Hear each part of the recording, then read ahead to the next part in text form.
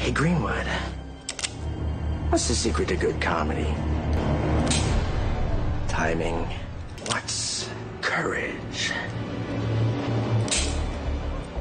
Grace under pressure. And who's the boss? I'm the boss.